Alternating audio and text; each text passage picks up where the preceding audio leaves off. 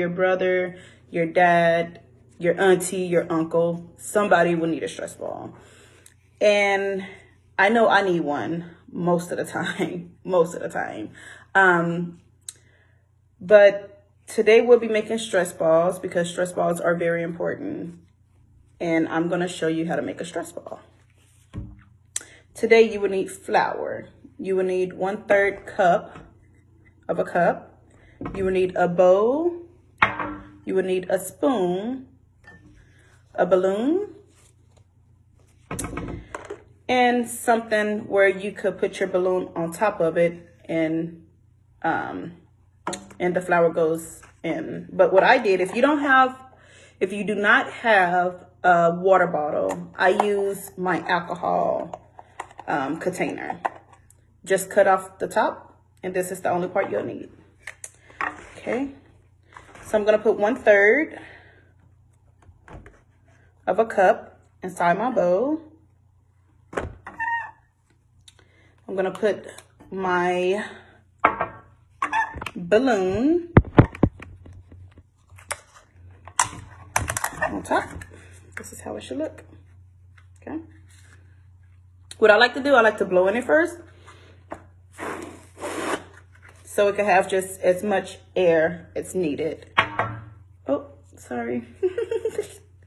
and what you'll need, a spoon. I mean, a um, pencil. I'm sorry. It's a pencil. This is just so you can stick the flour inside of the balloon easier. So you'll take your spoon, put it in your little container.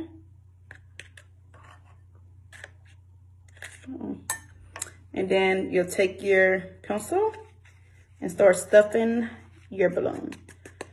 Now, it depends on how much, how big you want your balloon. Because you could do two cups of flour. You could do um, a cup of flour.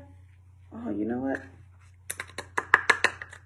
Now, I also forgot, make sure you have a towel. We always clean as we go. Make sure you have a towel so when your mom come in and she see you doing this project or this activity, everything is clean. So just make sure you clean as you go. Flour is super easy to clean up.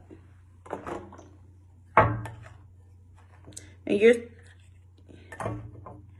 your pencil could stay in there as you stuff. So, and as your balloon get fuller, fuller, just make sure you hold it and make sure you just stuff the balloon where your hands is super tight on the balloon and on the container, but you're just stuffing. You feel the pencil go through through your hands, okay? It's super easy. Everybody need a stress ball when you're at home and you have schoolwork to do and you're getting frustrated because you don't understand it, just get your stress ball.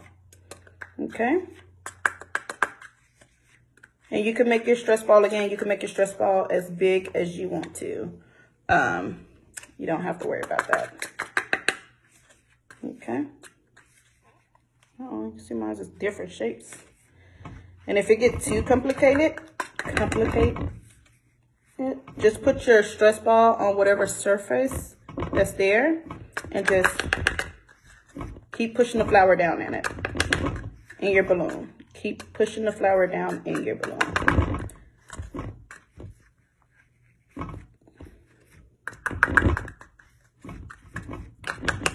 Just to let you know, guys, I really do miss y'all. And I cannot wait to see y'all this summer. Like, I cannot wait to see y'all. You don't understand.